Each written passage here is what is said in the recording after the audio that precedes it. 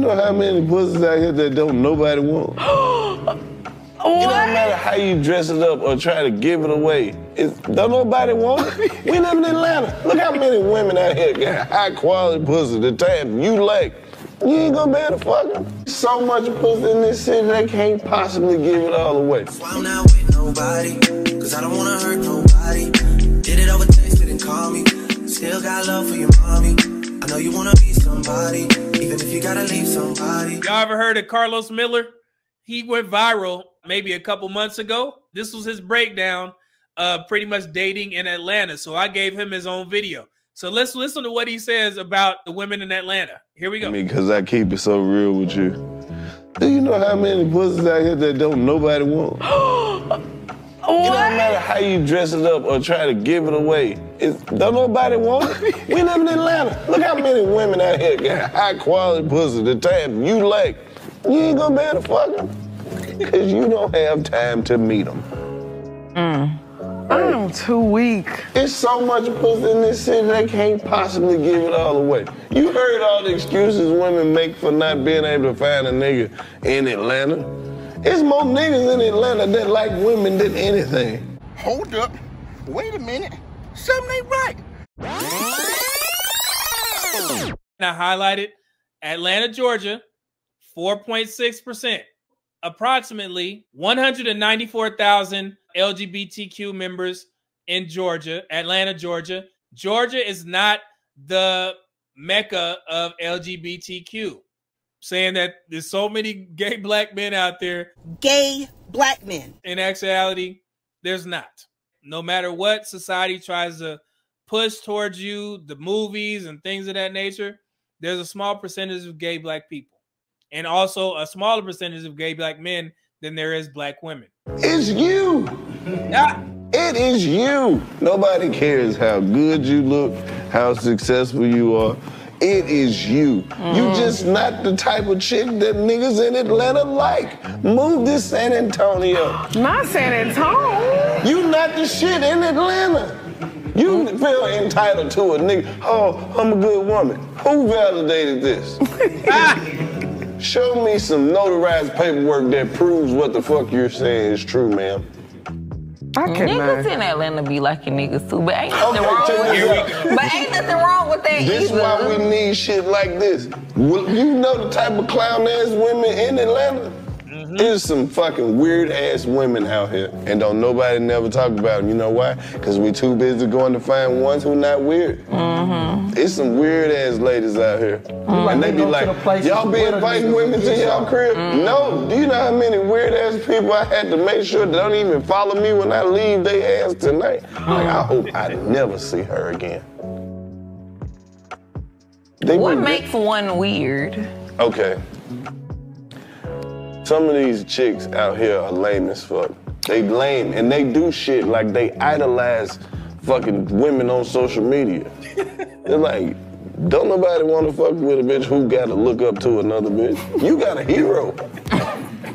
What is wrong with you? That's weird. That's real. No, but I think I Don't put no hero. nigga want feel no- like hero Don't is no man want no follower ass bitch.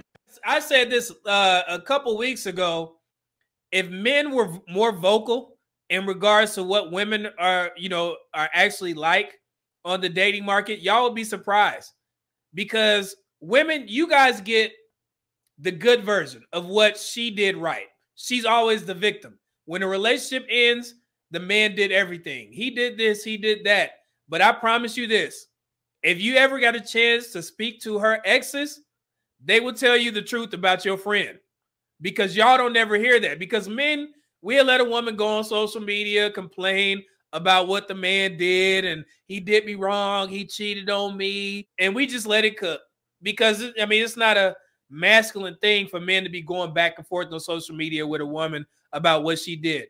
But I promise you, ladies, if you ever got a chance to talk to your homegirl's exes in secret, in private, you'd be surprised.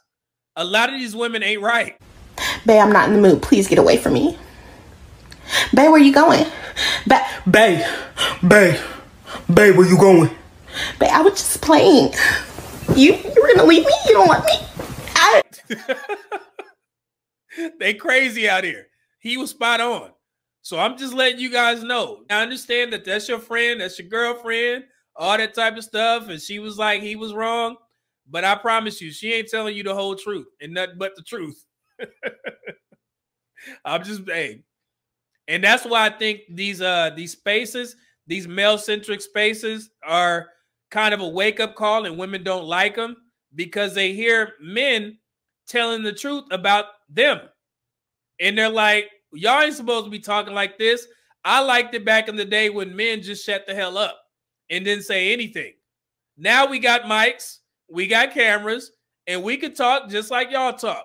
Nobody's telling you to tune in, but while you here, oh, you gonna get some of this good truth. Here's a couple of videos, and ladies, I did not leave you leave you out. We got some men, we got some women, and this is how they describe dating in Atlanta. My car faster, my drip better, my clothes fit better, my hoes better, my tattoos better. Let me go back. He said when they find out you don't have a degree and they do. This shit was hilarious. Oh, I didn't cuss again. There we go. Let me write that down. Here we go. I'm better than you. My shape up better. My car faster. My drip better. My clothes fit better. My hoes better. My tattoos better. I'm stronger than you. My bitch thicker than yours. My guns bigger than yours. Nigga, my guns bigger than yours. I talk better than you. I hustle better. I can get a dollar quicker than you. I talk better. I walk better. My shoes fit me better. That's how they be in Atlanta. When the women find out that, that a man ain't got a degree, they throwing it all in his face. Hey, I do this better than you. See, ladies? See? Women, pay attention. You educated girl? I, don't be throwing my my education and my degrees in these men faces. I don't tell them that just because I make 120,000 and he makes 80, I'm better than him. Under them comment section, every dude was like, facts.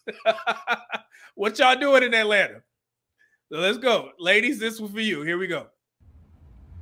Y'all. But wait, before this video starts, let me say this. This is a, a attractive young woman, right? Listen to the caliber of men or men who left uh, a voicemail on their phone. Does this sound like an upstanding gentleman? Here we go. Man, you want lame ass bitch, man. Nigga about to 10 feet lemon pepper wheel with five extra sprinkle, a strawberry lemonade, a 3.5 on the stop box, and some tailpipe. Yo, lame man wanna leave me on red. You can't leave me on red. I'm gonna bust your walk fucking head. Fucking ass, bitch. That's why I can't stand your fine ass now, bitch. You think you all that. You is all that, but God dang. We can't hoe. ¡Era mi, mi, mi puto Dios!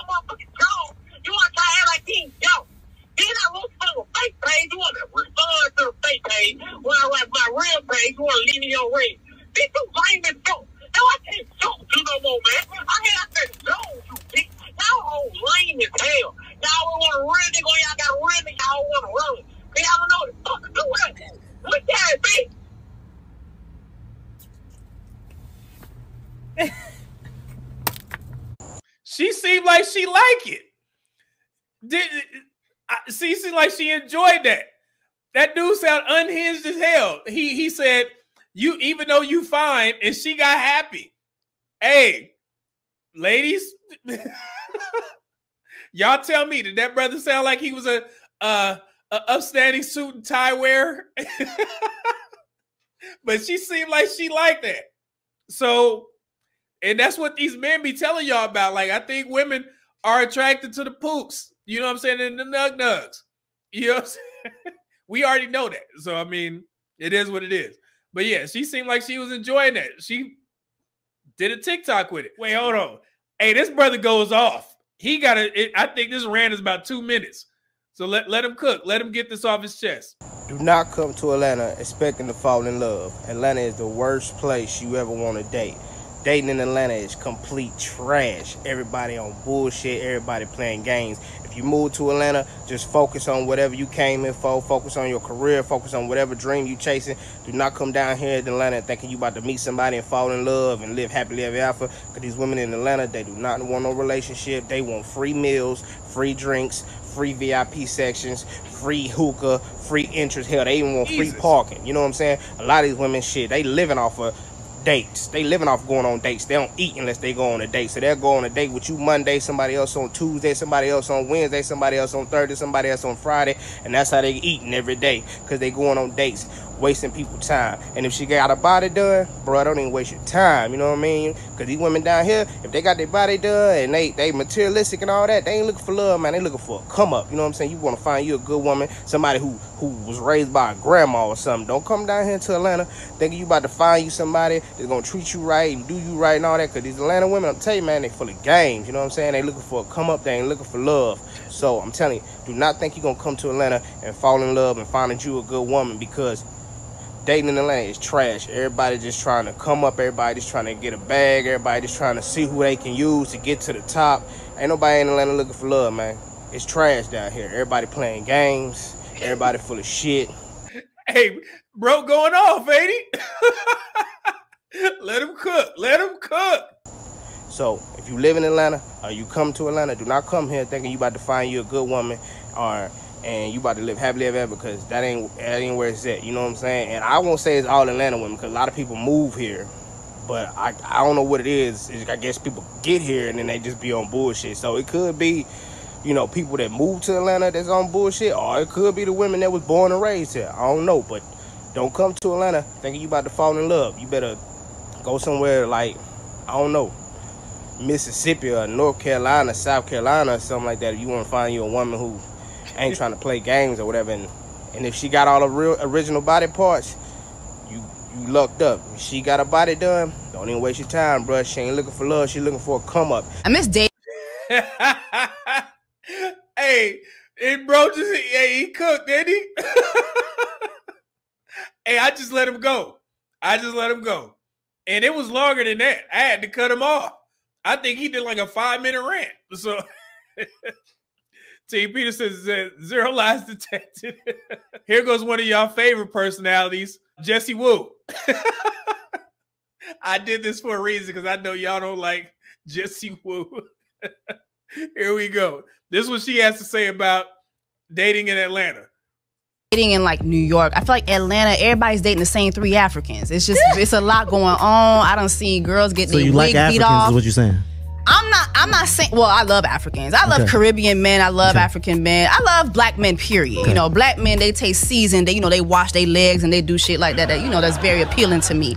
But yeah, I feel like in Atlanta the Africans done took over the dating scene and everybody's dating the same three Africans. Which Africans though? Two of them are from Nigeria. One is from Ghana. Okay. Them niggas got the dating scene in a chokehold. Them niggas to got what? the dating getting their wig scene. Yo, literally, there was a girl who lived in my building I used to be cool with. Literally, was dating an African who lived in the same building. I'm talking about we. I done been at to his apartment with her. Done sat down, ate some jollof rice. It was spicy as hell. That's why I prefer Ghana jollof instead of Nigerian. Okay. But back to the point. So they was in a relationship. Well, one day she so she shows up.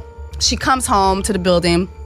She shows up to her front door, and his real girlfriend was waiting for her at her door. His real girlfriend, who his apartment was under her name because his profession. Well, I ain't gonna get into all that. Make a long story short, her wig was beat off of her.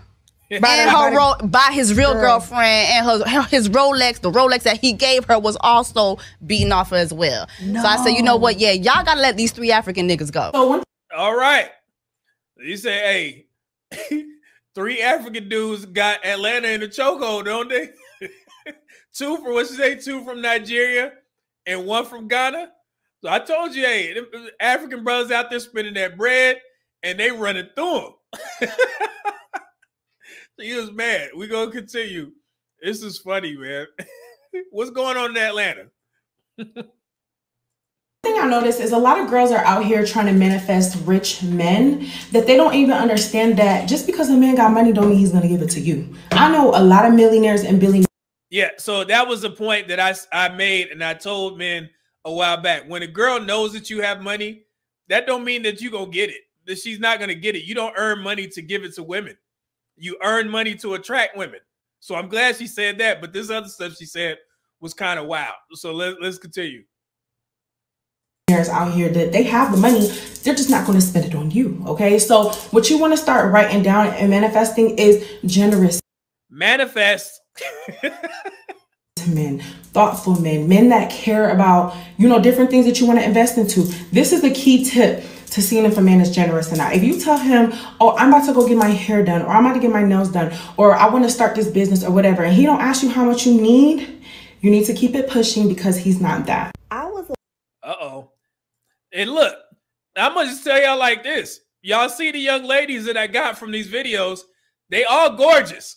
So I mean, I don't think that's the problem. And, in Atlanta, I don't think the problem is the looks of the women in Atlanta. I think it's the expectations or the attitude of the women in Atlanta. Because look, what he's saying? Uh who is that? I just seen something. Tony said chocolate can get the business D. hey, she was she was attractive. Had a little tattoo on the titty. You know, it is what it is. So I definitely caught it. Chest tattoo. She is disqualified for anything serious. Hey, I don't think Tony was talking about uh marrying a woman. Hey, he was talking about sneaking in. So I don't think it has anything to do with the looks of the women in Atlanta. It's just everything outside of that. But yeah, but this other young lady, listen to her. She's a, a gorgeous young woman. Here we go. Aware that the dating pool has piss and boo boo in it, but I didn't know what extent. So I was at Target the other day, and someone came up to me like, "Let me take you out," and you know me, I'm like, "Okay." Let me check my schedule, and you just let me know where, and I'll pull up.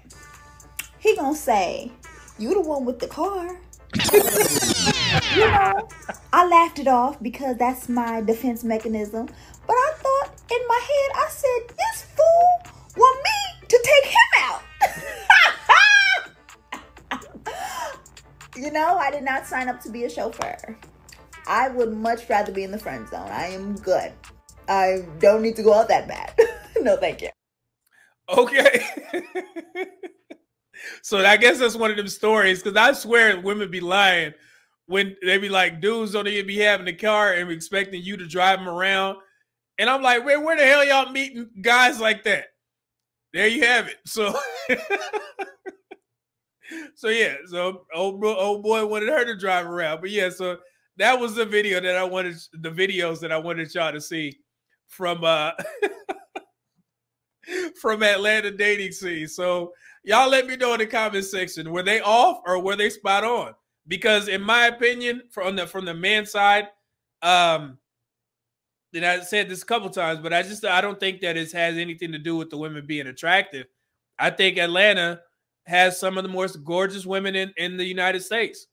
But outside of them being beautiful and being, you know, attractive and nice bodies, it may be some other underlying things is holding them back and why men consider the Atlanta, Atlanta dating market trash. And then also on the women's side, from what I noticed from the videos, is that men have a lot of options, and that turns off a lot of women. And especially in Atlanta, there are a lot of women as opposed to men in the black community, let's just say. And it seems like if a man has his stuff together, he has more than enough options to do whatever the hell he wants on the dating market.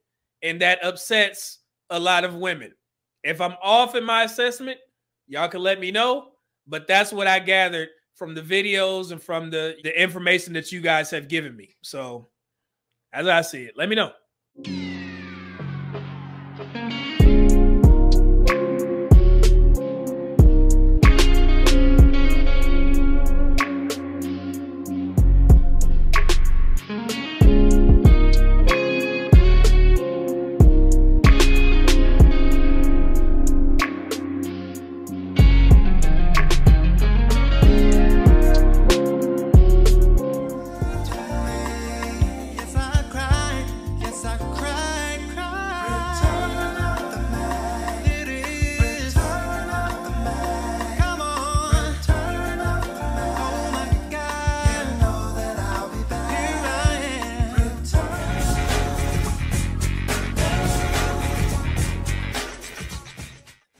Make sure you click that link, get you some Tiege Hanley, and support the Medium Man YouTube channel, and also support Tiege Hanley.